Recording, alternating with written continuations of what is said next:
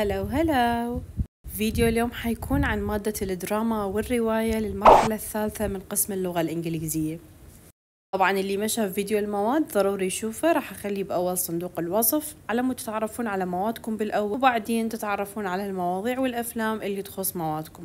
أول شي فيديو اليوم راح يكون خاص عن مادتين فقط من أصل تسع مواد. حنبدي بمادة الرواية والمسرحية.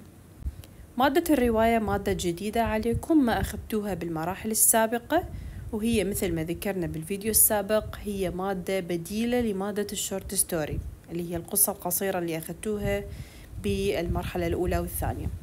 بس مادة الرواية حتكون أطول أكيد لأنه الرواية أطول من القصة. راح تاخذون روايتين على طول السنة اللي هم مرتفعات Wuthering Wuthering Heights ومن أفضل الروايات اللي شفتها حرفيا كلش حبيتها واستمتعت بدراستها ومشاهدتها وبقيت أشوفها حتى ورا ما تخرجت. يمكن أتذكر الفيلم مالتها شفته أربع مرات مو أكثر. كلش ممتعة ومن خلال الفيلم راح تفهمون كل شي يدور بالرواية. طبعا الفيلم راح أخلي لكم إياه بنهاية الفيديو والرابط مال الفيلم أيضا راح أخلي لكم إياه بصندوق الوصف. وإذا تحبون أحكي لكم عن الرواية بالفيديو القادم. اكتبوا لي إذا حبيتوا الفكرة. هحكي لكم عن الشخصيات اللي بيها والأحداث المهمة. الرواية الثانية اللي هي بعنوان Hard Time أيضا رواية Hard Time حلوة وممتعة وسهلة بنفس الوقت يعني تحليلها بسيط وفكرتها معروفة. أيضا الفيلم مالتها إذا تحبون تشوفونه فراح تلقونه بصندوق الوصف. Hard Time أما بالنسبة لمادة الدراما فهي كلش طويلة. أيضا راح تأخذون مسرحيات اثنين على طول السنة. المسرحية الأولى راح تكون بعنوان هاملت ونقدر نقول إنه مسرحية هاملت هم كلش من المسرحيات اللي حبيتها أنا وأدرسها. بس بقد ما حبيتها بقد ما بيها تحليل وأسئلة. يعني أحسها شوية معقدة من ناحية الدراسة والتحليل. بس الفيلم مالتها كلش ممتع وحماسي بس آه نهايته حتكون كلش حزينة.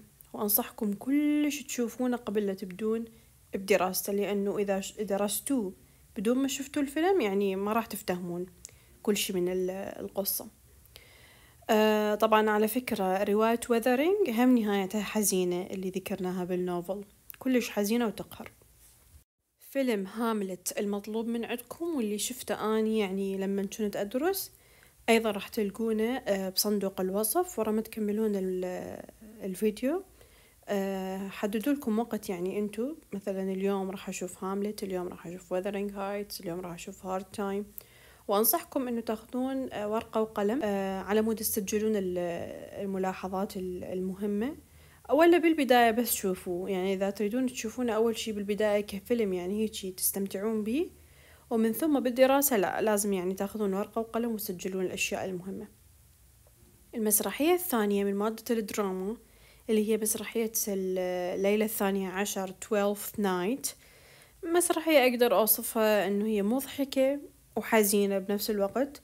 دراما سعيدة أحداثها ملخبطة يعني بس هي بالنهاية أقدر أقول عنها تافهة بالنسبة للمسرحيات والروايات البقية. راح تتعجبون من كلامي إنه هي حزينة ومضحكة ودراما وسعيدة وتافهة بس أكيد من راح تكملون مشاهدتها مشاهدة فيلمها راح توافقون الرأي.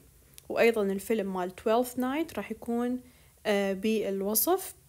وراح أنزل لكم أغلفة الكتب على قناتي بالتليجرام. هاي قناتي بالتليجرام اللي يحب يشترك بيها. يعني أقدر أساعدكم بيها إذا عندي ملزمة مثلا تفيدكم لكل المراحل. أغلفة كتب short videos يعني تفيدكم لمعلومات اللغة الإنجليزية. وأيضا هذا حسابي على الإنستغرام.